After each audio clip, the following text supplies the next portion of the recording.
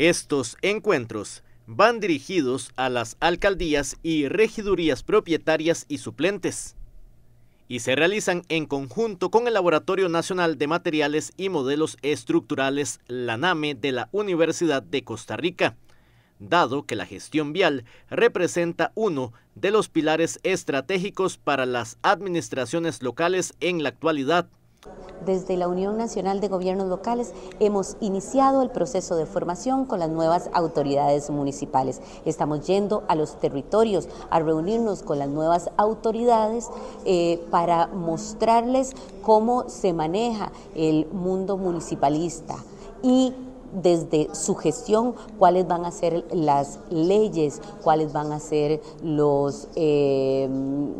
el, marco que encierra no solamente el marco legal, sino también el de experiencias ya vividas, para que puedan enfrentar mejor eh, este proceso nuevo eh, al cual se van a abocar. Durante la actividad también se abordarán temas sobre gestión del talento humano carrera administrativa municipal, gestión pública y temas legales, incidencia política y comunicación.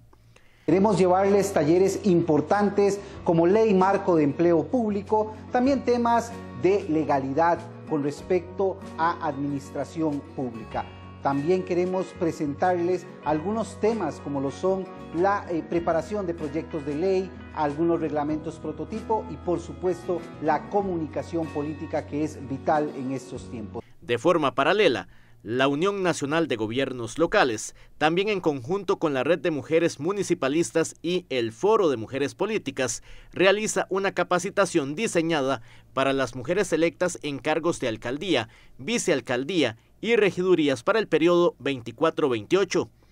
La capacitación tiene el propósito de proporcionar entre las participantes las herramientas necesarias para afrontar los desafíos presentes y futuros asociados a sus puestos dentro de las municipalidades.